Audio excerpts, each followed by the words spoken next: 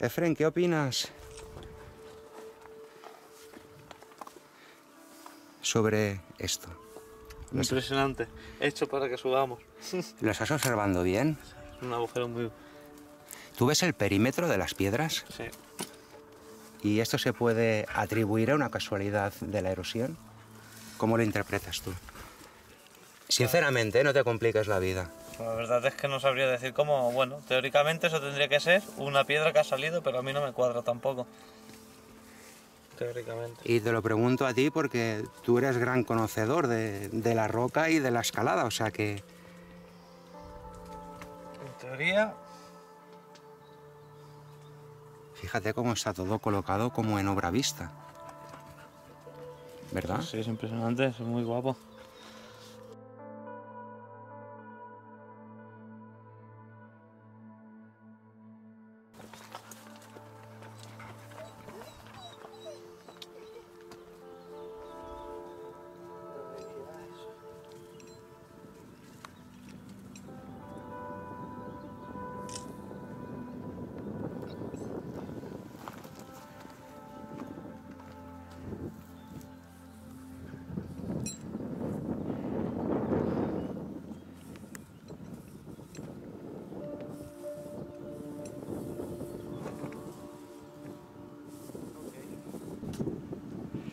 Mira lo que hemos vuelto a encontrar aquí.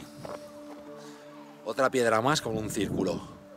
Que para mí esto es pigmento, no, no es una, No es una, ferroso. una inclusión ferrosa, ni mucho menos. Para mí es pigmento, yo lo Porque interpreto así. Si fuera una inclusión ferrosa, como dices, ¿cómo es que hemos encontrado ya cuatro en, en Se forma de círculo? Y se repite el mismo patrón. Y esto es precioso, ¿eh, Sergio? Es un conjunto monumental.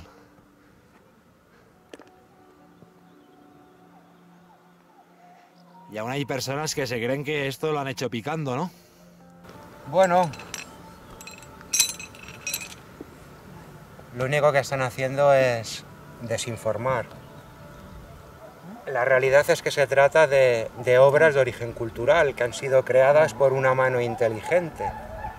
Pero ello no implica que haya sido tallado con una maza y un, y un cincel, porque eso es una chaladura.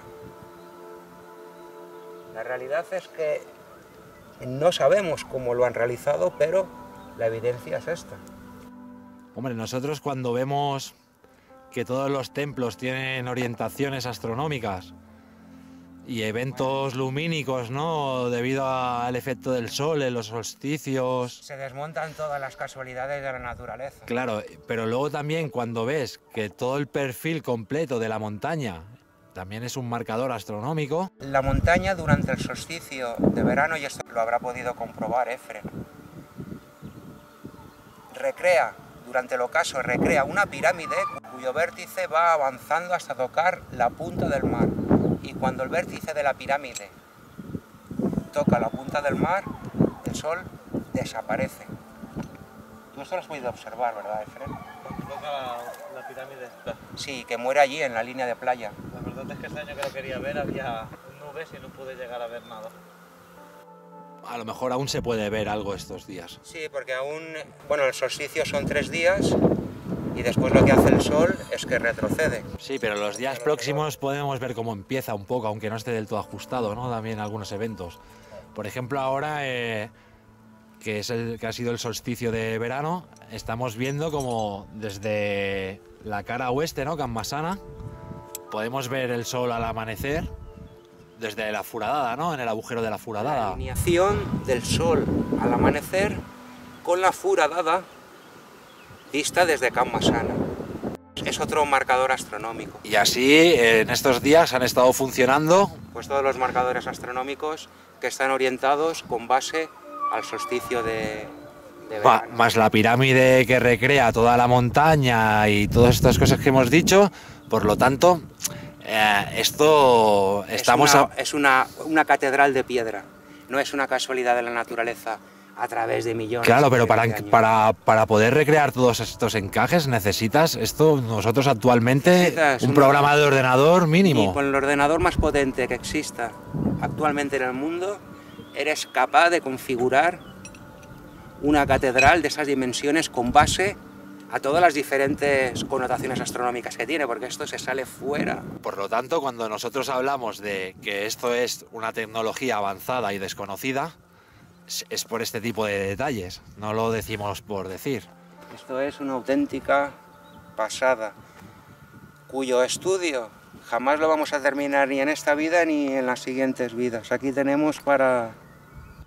En el momento que se pongan a estudiar estos fenómenos, sabes lo que ocurre, ¿no, Eliseo? Bueno, pues que el paradigma que nos han vendido ya no vale. Es que tenemos que volver a reescribir todo. Y estos eventos están aquí. No. No, se- no van a desaparecer. Por lo tanto, llegará el día. No sé si lo veremos. Bueno, a lo mejor nosotros no, No sé si lo veremos.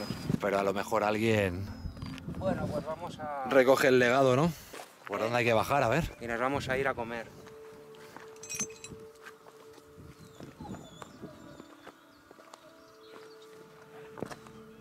Hay que bajar ahí. Hay que decir que Fren lo ha subido en libre, descalzo. ¿De acuerdo? Ni erosión, ni millones de años. Esto es arte incomprendido. El arte de la primera civilización. Los grandes modificadores de la superficie terrestre. Estos son petroglifos y nada tiene que ver con, con procesos erosivos. Otro aspecto es que los arqueólogos, como han llegado tarde a, la fiesta de este descubrimiento, nieguen la realidad. La realidad es que se trata de petroglifos. Y estamos hablando de miles y miles y miles de petroglifos.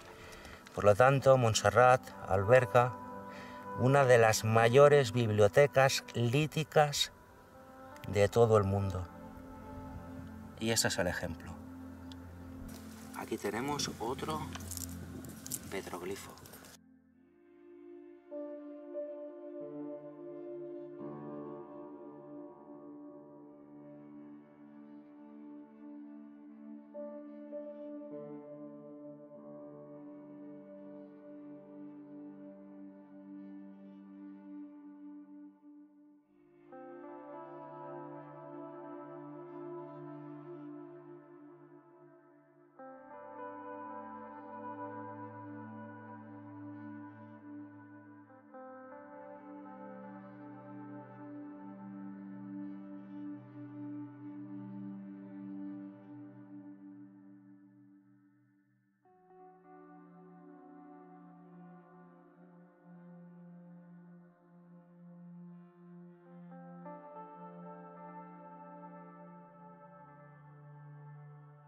Mira, esta superficie original, ¿lo ves cómo está puesta?